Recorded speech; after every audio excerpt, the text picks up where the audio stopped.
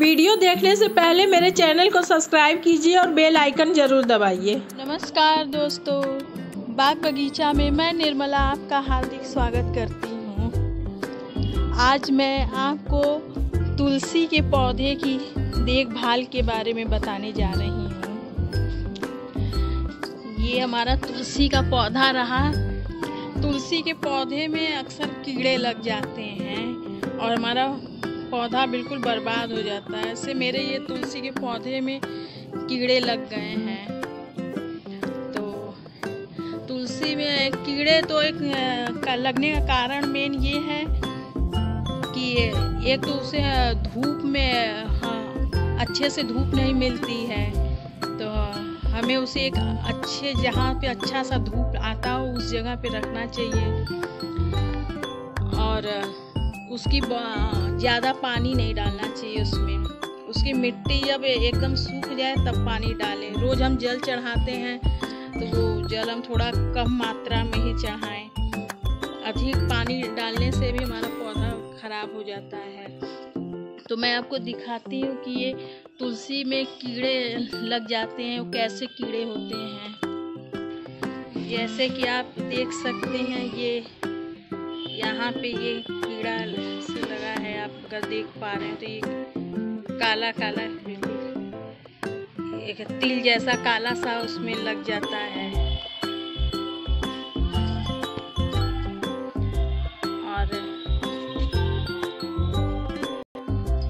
और यहाँ पे भी आप देख सकते हैं कि यहाँ पे भी ये काला काला आपको दिख रहा होगा। ये भी से कीड़ा लग गया। ऐसे जगह जगह कीड़े लग के हमारी पत्तियों को, तुलसी की पत्तियाँ बिल्कुल सूख रही हैं, मुरझा रही हैं। तो इसके लिए हमें तुलसी के पौधे को पहले गीला कर लेना है किसी स्प्रे की सहायता से। हमारे यहाँ हल्की हल्की बारिश हो रही है, इसलिए हमारी तुलसी पहले से ही भींगी है। नहीं तो हम स्प्रे से इसको भिंगा लेते और फिर उसके बाद हम ये राख लिए हैं। आपके यहाँ कोई भी पुराना सुराना लकड़ी पड़ी हो बेकार लकड़ी उसे आप जला के ये राख तैयार कर सकते हैं। ये एक बहुत बड़ा, बहुत स्ट्रॉन्ग कंपोस्ट का भी काम करेगा। आप इसे कंपोस्ट के रूप में भी किसी भी पौधे की जड़ में पंद्रह दिन में एक बार डालें और तुलसी पर भी या फिर किसी भी पौधे में अगर कीड़े लगे हों तो उस पर भी ऐसे ही आप भिंगा के इस तरह से तुलसी में चारों तरफ़ या किसी भी पौधे में आप हर जगह इसे बहुत ही अच्छे से डाल सकती हैं। मैंने आपको कई सारे कंपोस्ट के बारे में बताया है। उसमें से ये भी एक होममेड कंपोस्ट है।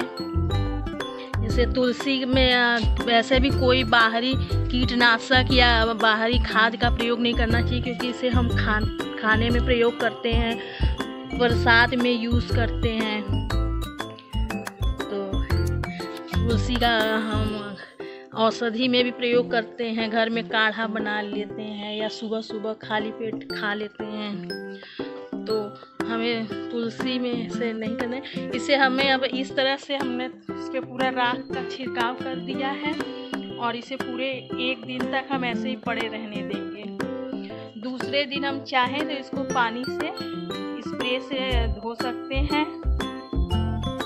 और तुलसी की देखभाल के लिए एक और ज़रूरी बात है कि इसमें जो तुलसी की मंजरी, तुलसी के फूल निकल आते हैं उसे भी हमें काट के जब वो पके नहीं, कच्चा रहे, तभी उसे काट कर निकाल देना चाहिए, क्योंकि जब तुलसी के फूल मंजरी यानी कि पकने लगते हैं तो हम, वो तुलसी का लाइफ ख़त्म होने वाला होता है। अगर हम उसे काट देंगे तो हमारी तुलसी फिर ठीक ठाक रहेगी, सूखेगी नहीं। नहीं तो तुलसी, मंजरी पकने के साथ ही तुलसी भी सूखने लग जाती हैं। और दूसरी सबसे महत्वपूर्ण बात ये है कि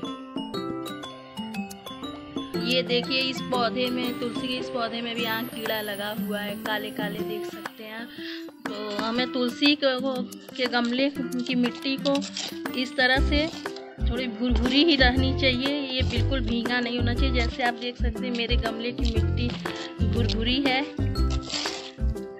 जब मिट्टी थोड़ा और सूख जाए। अभी इतनी भींगी मिट्टी में हमें पानी नहीं डालना चाहिए। थोड़ा और सूख जाए तब इसमें पानी डालना चाहिए और इसे समय समय पे, आठ दिन, दस दिन पे इसकी हमें थोड़ी सी खुदाई कर देनी चाहिए ताकि मिट्टी में ऑक्सीजन जाए हवा जा जा पाए। इससे हमारा पौधा हेल्दी रहेगा।